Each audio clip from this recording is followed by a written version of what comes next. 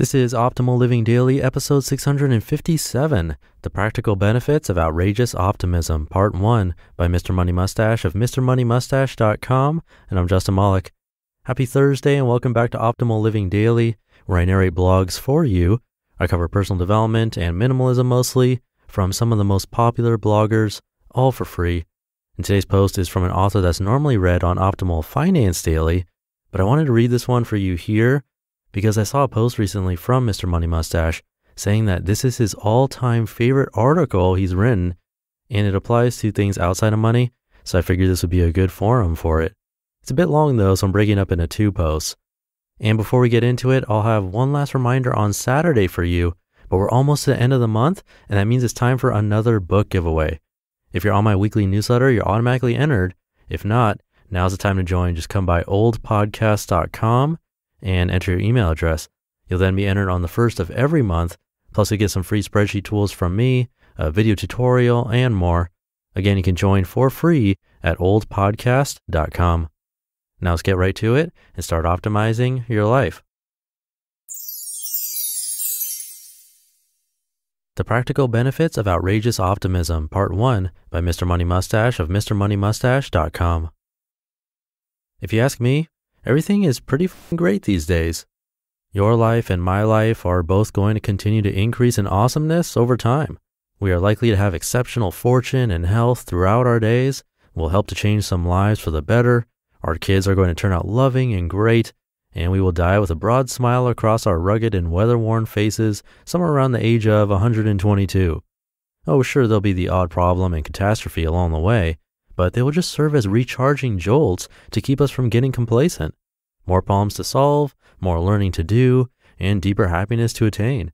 On top of that, the human race is bound for an ever better fate, ironing out most of its current problems and most of the problems that follow in the future, ending up at a tantalizing Star Trek utopia.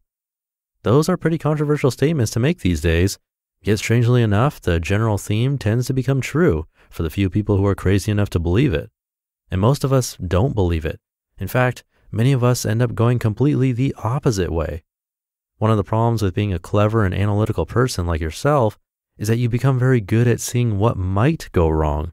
You can see the risks inherent in any enterprise, and if you've got enough Cliff Clavin in you, you might even be fond of expounding about those risks to anyone around who will listen.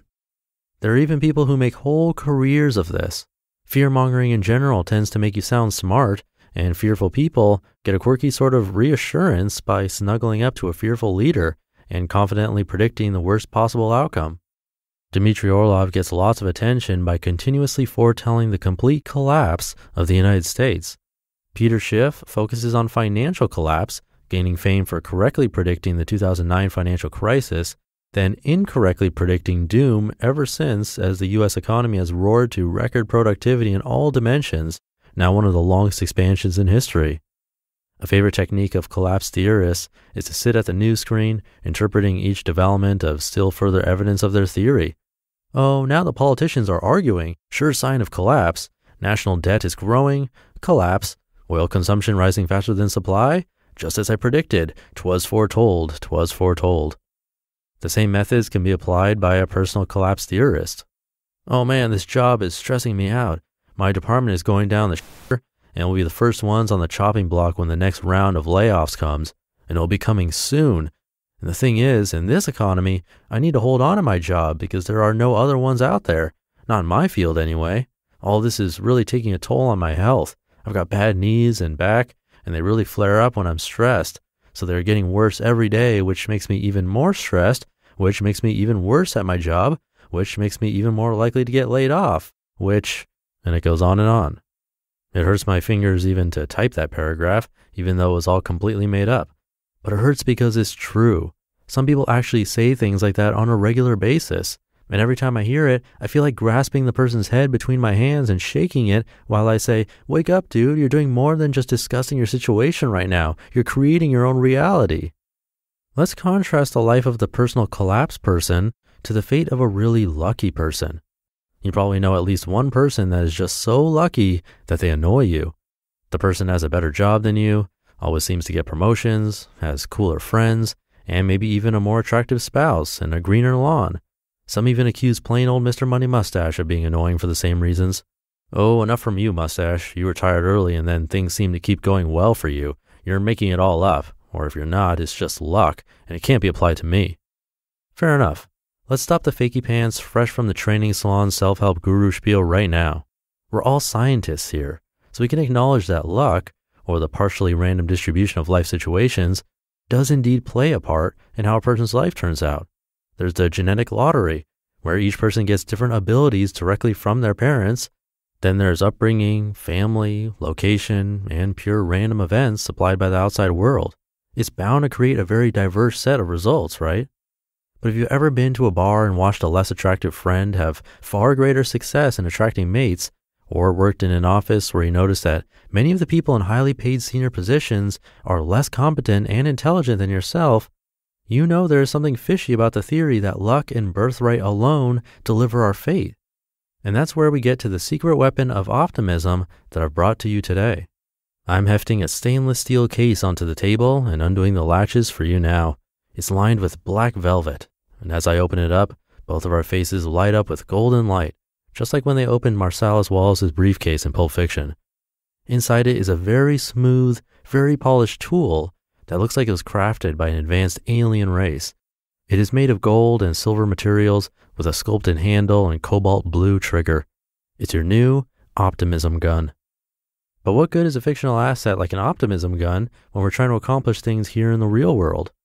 The answer is a hell of a lot of good because in this world full of humans, almost all of our reality is created in our own heads. Is money real? No, it's just a shared understanding among all of us that we agree to store value in non tangible forms. What about gold? That's more real than money, right? Nope. Offer a pile of gold coins and a nice chunk of meat to a dog and see which one he chooses fame, fortune, the respect of others, or a job as President of the United States, just chemical patterns stored in the minds of a bunch of other humans. Even physical problems like immediately cutting human carbon emissions by 75% to reduce climate change or eliminating poverty in all poor countries are things that could be solved within months just by altering patterns in a bunch of human minds. And as it turns out, the human mind is exactly the target of the optimism gun. But does it really work? Hear that in tomorrow's episode. You just listened to part one of the post titled The Practical Benefits of Outrageous Optimism by Mr. Money Mustache of MrMoneyMustache.com. I'll finish the rest for you tomorrow. But one last time, if you want to be entered in a book giveaways, the next one happening is in just three days. So come by oldpodcast.com and make sure you're on the email list. That's my weekly newsletter. I'll keep this ending really short. Have a happy Thursday, and I'll see you in the Friday show tomorrow, where we'll continue this post and where your optimal life awaits. Hey, this is Dan from the Optimal Finance Daily podcast, which is a lot like this show, except more focused on personal finance.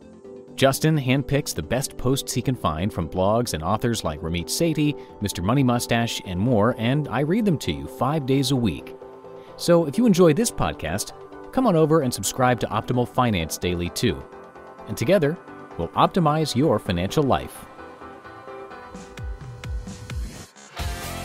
You've been listening to Optimal Living Daily. Be sure to hit the subscribe button to stay up to date on each new episode and head to oldpodcast.com. That's O L D podcast.com for a free gift as well as more actionable tips and resources to help you maximize your potential.